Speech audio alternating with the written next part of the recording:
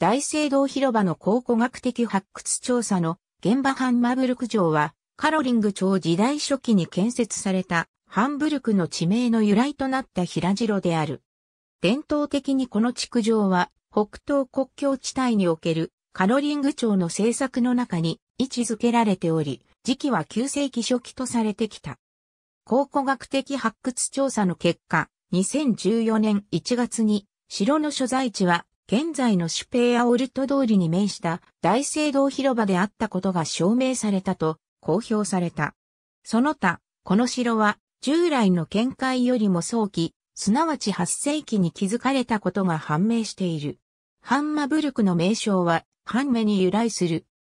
他方、地形の実情に合うことから可能性がより高いと考えられている手がかりは、ゲルマン語のハムの由来と同様、古高ドイツ語のハム、コザクセン語のハム、コフリジア語のハンメ、中期低地ドイツ語のハンメ、北フリジア語のハムやホム、すなわち川の蛇行部に面した土地、岬、曲がったものといった言葉である。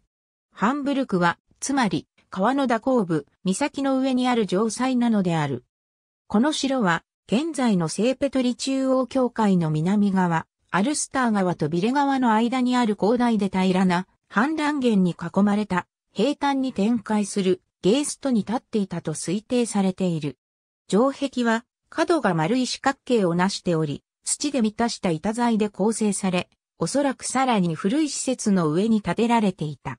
広さは約130-130メートルで、城壁の高さは5メートルから6メートル、幅15メートルあり、およそ1万本の樹木と2万立方メートルの土でできていた。木作で高さを増した土塁の内側には、およそ1ヘクタールある一角に、ハンマブルク市教区に属する質素な木造の洗礼堂とそれに付随する町に居住していたベネディクト会の修道院並びに複数の家屋が建っており、その最も豪華なものには、宮廷人や城の大官が住んでいた。土塁の前の土地には、商人や職人が今日構える町があった。それは、アルスター川の支流の一つであり、かつてビレ川からアルスター川へ流れており、1877年に埋め立てられたライヒエンシュトラーセンフレートにあった港と境を接していた。最新の知見によれば、ハンマブルクは元来、発掘調査で発見された、西暦700年から800年頃の現地で作られた、ザクセン風の陶器の器から推測されるように、交易の場であったと考えられている。初期のハンマブルクは、フランク王国の教会からゲルマン人への布教を依頼された、宣教師の一人、司教、アンスガーが活動拠点とした聖堂の所在地として知られていた。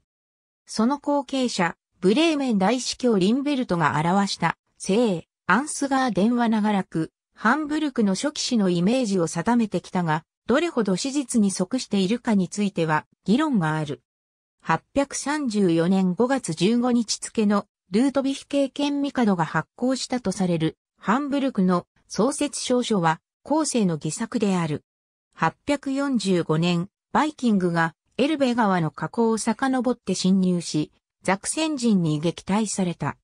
同時代のサンベルタン年代記によるとバイキングはその木と、あるスラブ人の城を破壊している。リンベルトの報告によれば、彼らはその間にハンマブルク城を包囲し、攻め立て、跡形もなく破却した。司教、アンスガーは、間一髪で逃れたとされる。難民は一時、ゾリンクの主名戦村に移住したことが、陶器の破片から判明している。寄せては城を荒廃させた後、退いた。しかしハンマブルクはこの惨事から復興することができず、長きにわたってひっそりと存在するのみとなり、ブレーメン大司教領に統合された。同地が再び栄えるようになるのは、交易がバルト海から北海へと移り、その名がハンブルクの町の由来となった12世紀になってからのことである。バイキングたるノルマン人のハンマブルク襲来に関する報告は、ブレーメン大司教リンベルトの筆によって伝わっている。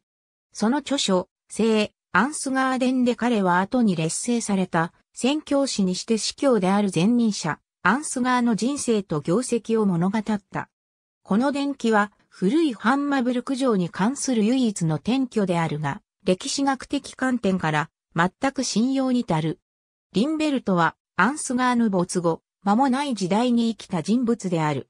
その上、後の聖マリア聖堂と同じ場所に古い木造の聖堂があったことは確かとされる。現在の知見では、木造の城の防壁は後に建築された異教徒の城壁の下に伸びていた。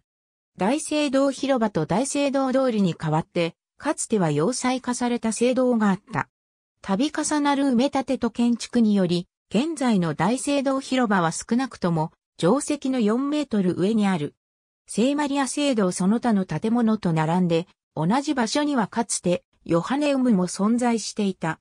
聖ペトリ中央教会に臨む大聖堂広場の光景。2009年には要塞化された聖堂の防壁と支柱を復元した公園が整備された。ハンマブルク城を発見するべく、長年に及ぶ発掘調査が何度も実施された。第二次世界大戦中の空襲は敷地にあった建物のほとんどを破壊した。また地下鉄の建設と道路の拡張により、1955年にはまだ残っていたヨハネウムの性欲やアーケードが犠牲となり、再建されることはなかった。最初期の発掘調査は1947年から1957年にかけて行われている。1948年、ラインハルト・シントラー率いる調査団が大聖堂通りの下に木作の存在を示す土壌の変色を伴う防壁を発見した。シントラーはハンマブルクを見つけたと信じた。しかし、広大の科学的知見によれば、この発掘調査の折に防壁から見つかった陶器は初期スラブ人時代ではなくて中期スラブ人時代のものであることが判明している。そこから推測されるのはこの防壁が早くとも9世紀末、すなわちハンマブルクラク城の50年後に建てられたことで、ある。グベンドリーン・グレーゴアの指導下、1980年から1987年に行われた発掘調査では、かつて発見された防壁のもとにもう一つの壁が発見された。しかし、これは8世紀のものであり、聖アンスガーデンによれば817年頃に創設されたというハンマブルク城であるにしては古すぎた。この一帯は、ハンブルク考古学博物館のカーステン・カブリッツ、率いる考古学者によって改めて調査された。ハンブルクの大聖堂広場における作業は2005年7月4日から18ヶ月間の予定で始まった。その際、カブリッツのチームは、ハンマブルク城の所在地にはるか以前から人が定住していたことも証明するつもりであった。その最初の証拠は、ある学校の生徒が発掘現場に遠足に行った際に見つけたナイフ型石器である。発掘現場では、ローマ教皇ベネディクトゥス5世の慰霊碑の破片など、ハンマブルク城の前後の時代の痕跡が見つかっている。大聖堂広場の発掘調査が終了した後、研究者は現場でハンマブルク城の遺構が発見されたという見解で一致した。2013年12月13日から14日まで、これに関して学術的かつ学際的な討論会が開かれている。発掘品は2014年10月31日から2015年4月26日まで展示会に出展された。ありがとうございます。